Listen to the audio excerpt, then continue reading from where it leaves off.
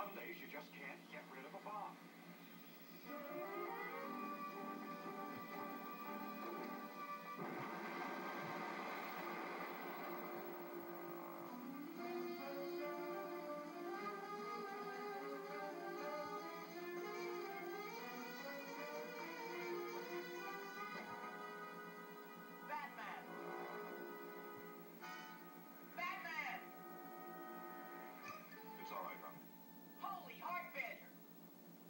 Fortunately, I was able to dispose of that bomb in the nick of time and shield myself behind these heavy iron pipes.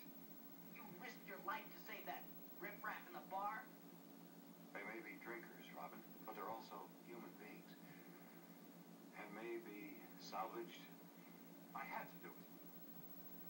But we've lost the trail of that angelic